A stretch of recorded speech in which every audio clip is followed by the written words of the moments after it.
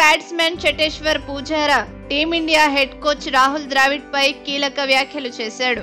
కొన్నాళ్ళుగా సరైన ప్రదర్శన లేక ఇబ్బంది పడ్డ పూజారా శ్రీలంకతో జరిగిన టోర్నీకి దూరమయ్యాడు. తాజాగా ఇంగ్లాండ్ కౌంటీ క్రికెట్లో ఐదు మ్యాచ్లు ఆడిన పూజారా ఏడు వందల ఇరవై పరుగులు చేశాడు. అంతేకాక వీటిలో మూడు సెంచరీలు ఒక డబుల్ సెంచరీ చేసి తనేంటో నిరూపించుకున్నాడు.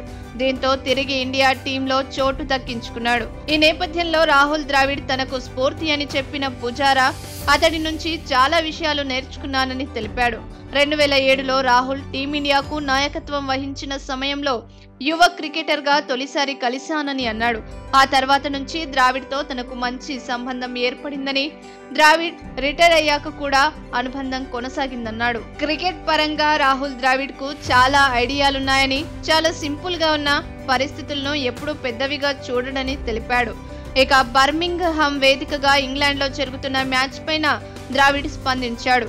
ఈ మ్యాచ్ గెలిస్తే తాము చరిత్ర తిరగరాస్తామని అభిప్రాయపడ్డాడు.